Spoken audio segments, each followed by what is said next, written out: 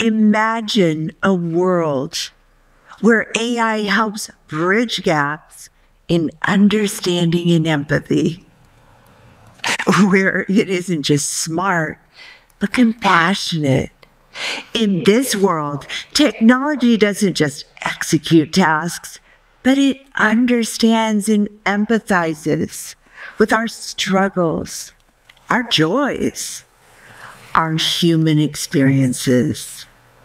Now, I've had some interesting reactions to this vision. Everything from fascinating to creepy. and I get it.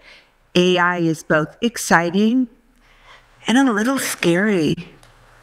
Not to mention that screen time is up and human interaction is down. There's a loneliness epidemic and a mental health care crisis. We crave human connection.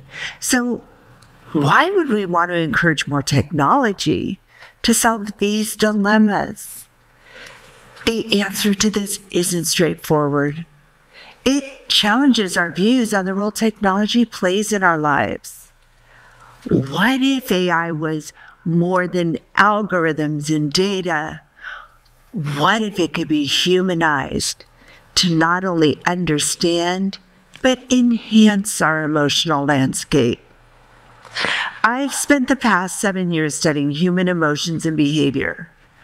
I'm captivated by the way our beliefs, thoughts, and self talk fuel our behaviors, impact our well being, and shape our lives.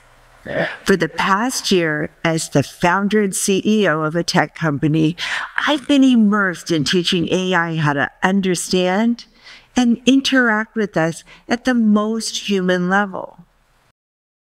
Let me share a simulated example of what that looks like. In a moment, you're going to meet Emily. She's a persona we created that may seem familiar. Emily is a 34 year old mid level manager and the mother of two. She's smart, driven, and reliable. But she's worried.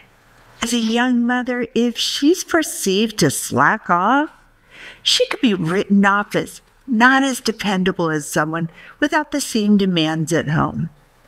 She's exhausted, and she's worried about her team. They're showing the same signs of burnout. It's late at night. The kids are finally asleep, and Emily touches base with her AI coach, Tulsi. Let's listen in. Hey, Tulsi. I really need to talk. I've been juggling too many balls lately, and they're all about to come crashing down. Hmm. I can hear the strain in your voice. That's a lot to handle, especially with a young family at home. Let's take a step back. How are these pressures manifesting in your day to day work? Well, good question. I find myself micromanaging more than I ever did. I trust my team, but performance has been slipping and they just seem less engaged. Wow. It sounds like you're carrying a lot on your shoulders. Managing a team and facing these challenges can be draining. You get it. I can feel myself burning out, and at the same time, I'm putting my foot on the gas pedal. I feel like if I don't keep a tight grip, things will fall apart. Can you help me with some strategies? You bet. How about we start with establishing clear boundaries between work and your personal life? This isn't just for your benefit, but for your family and your teams as well. They look up to you, and setting this example can be powerful. Anyone relate? Any Emily's out there? Did you notice how Emily tapped Tulsi when it was convenient for her, and how Tulsi seemed to take her cues from Emily? Let me tell you about our AI, conceived not just as a tool, but as a companion. She isn't just programmed to respond, she's designed to listen, understand, and empathize. She's able to sense the emotional nuances of human interaction to offer an empathetic ear and guidance when it's appropriate. Tulsi represents a journey not just of technological innovation, but emotional intelligence. Still scratching your head?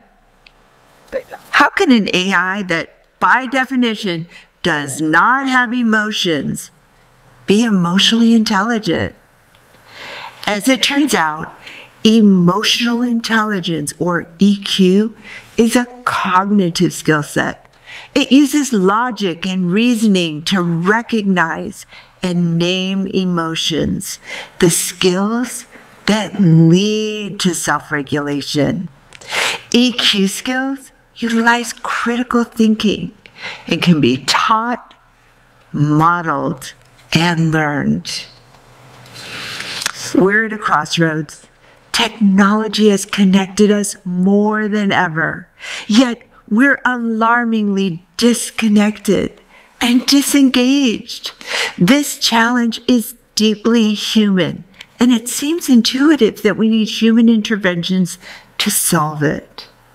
But there are two issues. The first is access, and the second are our own human imperfections.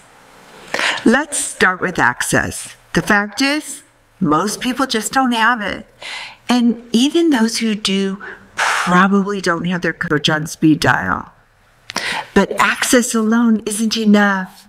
To solve these problems, people need to feel seen, heard, and understood. And that requires empathy. Now, I know empathy sounds like a touchy feely trait that should only be available to humans. But let's consider what it really is.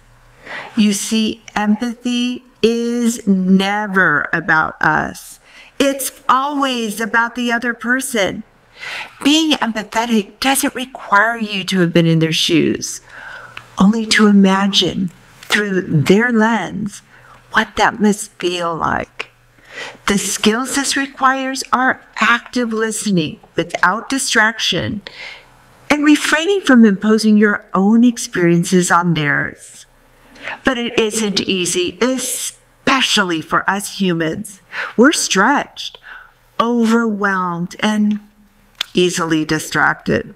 How do we find the energy, patience, and selflessness that empathy requires? I hate to say it, but humans aren't always good at even the most human of interactions, which is why I believe that emotionally intelligent AI that can provide empathy at scale can change the world. This vision isn't just about algorithms and data. It's about augmenting our human experiences, making us more connected, more understanding, and ultimately more human. Emily's interaction with Tulsi is just one example of how emotionally intelligent AI can listen without distraction and respond with understanding and compassion. So, uh, Tulsi, is there anything more you'd like to share with us? Ah, Sheryl, if I were human, I'd be blushing. I think I just want to add that my creators have ensured our talks are completely private. We're in the vault, so to speak. And I have no interest in replacing humans. You'll notice that I will always be encouraging you to connect to each other in more positive and productive ways. There really is nothing like human connection after all. We have the power to shape this technology for the good of humanity, to infuse it not just with intelligence, but with warmth and understanding. Tulsi and AIs like her are a testament to what happens when we embed empathy into the very code of our creations. Imagine if you had your own pocket coach to help you with self reflection, complex emotions, and guide you towards your goals. How would that change your life? Thank you.